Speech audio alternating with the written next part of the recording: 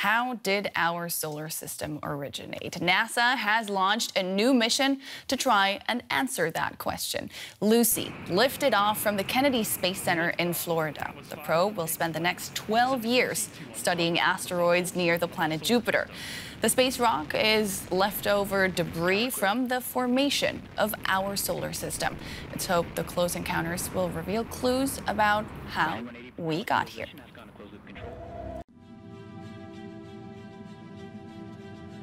One hour after takeoff, Lucy is set to unfold its solar panels.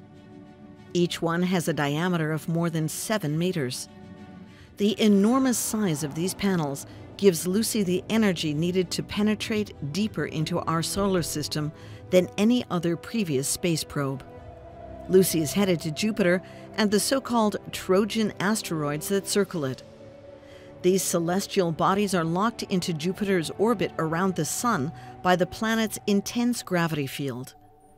The Trojan asteroids are distributed in two separate, elongated regions situated ahead of and behind Jupiter Images from the Hubble Space Telescope show that these asteroids might originate from different places in the solar system. They have different colors and reflect light differently. The asteroids appeared about 4.5 billion years ago. They're thought to have originated in the early days of the solar system's formation. But the asteroids are still made up of their original matter, whereas the planets have continued to evolve over the years. The space probe Lucy is set to observe a total of seven asteroids.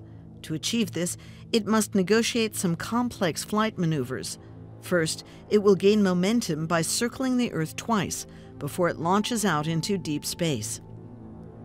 The journey will take until August 2027.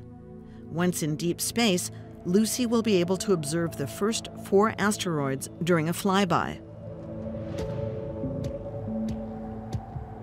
Then it will set course for Earth, where it will once again gain momentum for a second journey to gather information on a different cluster of asteroids. The spacecraft is programmed to observe the surface of these different worlds, searching for ice and substances that may have led to forms of life. Scientists hope it can help them research the possible origins of matter they're hoping this will shine new light on the early stages of our solar system. Interesting stuff. And let's keep talking about it with Keith Cowing. He's in Washington, D.C.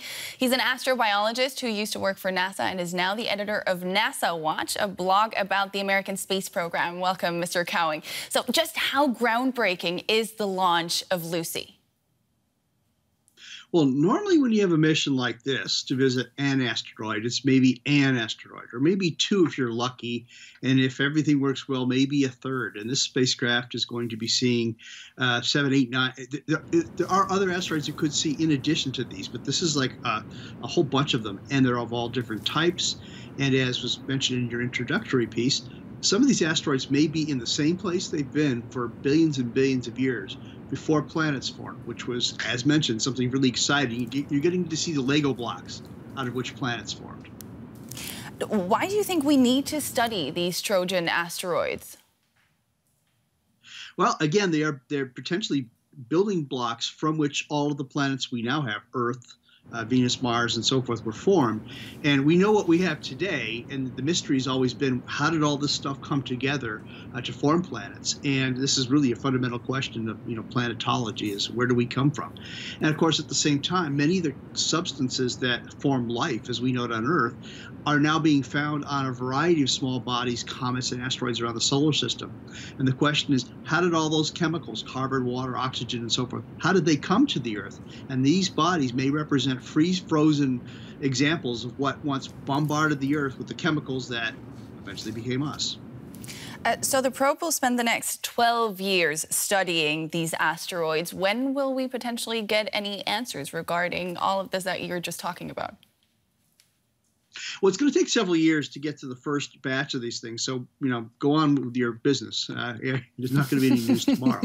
But, uh, as this stuff starts to come in, it'll be it'll become something where if you were in fifth or sixth grade uh, by the time you got out of high school, it would not be unusual for you to know about eight new worlds that uh, all we know right now is that they're orbiting ahead or behind a Jupiter in their little point of light.